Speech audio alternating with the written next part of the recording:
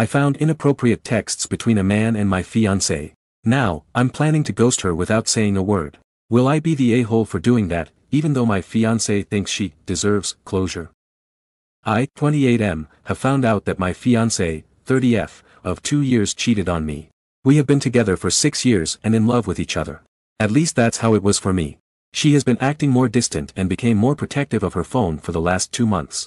At first, I was not suspicious of anything, but the doubt grew more and more inside me as time passed. Especially after asking her if there was a problem since she felt distant. She said there was no problem, and that was it. I gave in and snooped on her phone to discover she had been sexting a guy for the last two months. I was devastated. At the beginning of our relationship, I clearly told her lying and cheating in any form were the two unforgivable actions for me. Yet, she decided to cheat on me after five years of a relationship, and we had been planning the wedding for this summer. I am not proud of this, but I checked the old messages as well, and there was no case of cheating other than this. I have been thinking about it for the last few days.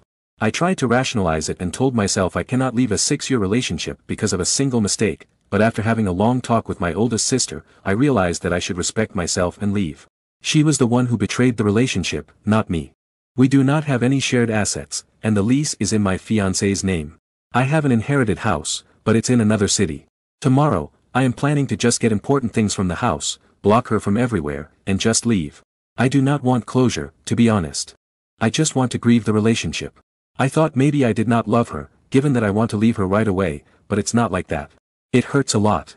I tend to stress eat, self-pleasure, doom scroll, and spiral into depression in these kinds of situations. I have that experience from my early 20s. Going no contact and returning to the city where my family lives will give me a support system. Will I be the a-hole if I straight up left and ghosted her without saying anything? Relevant comment. NTA, but if you can get screenshots of the chats as proof. So when people ask you, you can back it up. OP, I already have them, but probably will not share them with anyone unless they push me hard. Update. Firstly, I will not spread screenshots on social media or anywhere. That's illegal and a low blow even if it does not contain sexual content. It's a private thing, and I am not planning to use these unless she plays dirty. One of my sisters came early in the morning to take me after my fiancé left for work, and we packed some small things. As the lease is in her name, I do not have furniture and stuff. We packed clothes, accessories, and other small and personal things. Her car is an SUV, so we were able to fit most of the required things, thankfully.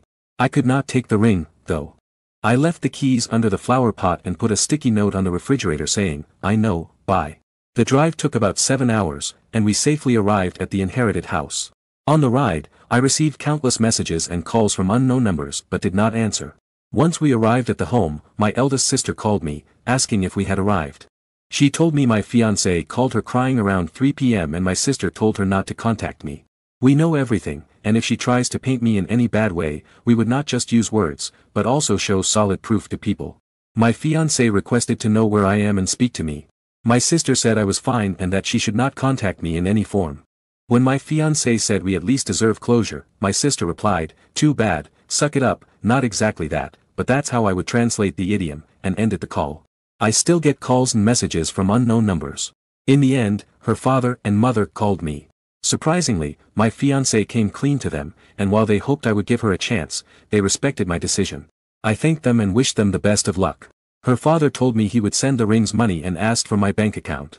He actually sent it, adjusting for inflation, so I got a pretty decent amount of money.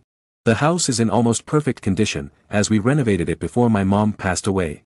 It's just incredibly dusty and dirty after not being used since then. My three sisters will come this weekend, and we'll clean it together. My eldest broke up with her girlfriend recently, so she plans to live with me after her lease ends in a few months. She has been complaining about rent prices for a while. My sisters are pretty much my only family, so I only informed them and some really close friends. I am planning on going to therapy after settling here. It may sound weird how close I am with my sisters, but we grew up like that. We grew up with an abusive father, and as I was the only man and the youngest, all the physical and emotional abuse went towards me. We bonded with each other through trauma, and they tend to be a bit protective of me. I think that history is one of the reasons I did not want to face my ex-fiancée. I thought I had gotten over that, considering nothing happened since the family therapy we took, but it seems to still be there. I'll get into therapy as soon as possible to understand everything and resolve the problems. I will post if there are any updates, but I just hope there won't be any. I just want to have peace and grieve right now. Top comments. It sounds as if you are on the right path and have a good support system. Yay sisters for having your back. Good luck. OP, thank you. I did not know what I would do if my sisters weren't there. Comment, you made the perfect choice in your note. She does not deserve a closure talk from you. It may help her, but definitely not you. You are the number one priority. If she had made you that priority, she wouldn't be in this mess. She made her bed, let her lie in it. Good luck and stay strong, King.